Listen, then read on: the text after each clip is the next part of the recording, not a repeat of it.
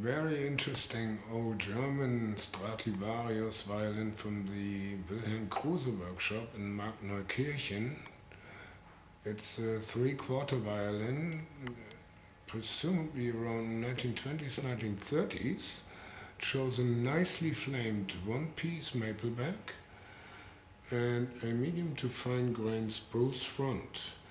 In our workshop, the violin received a new setup with new ebony pegs, an older ebony tailpiece, as well as a new ebony chin rest, a new bridge, and new strings.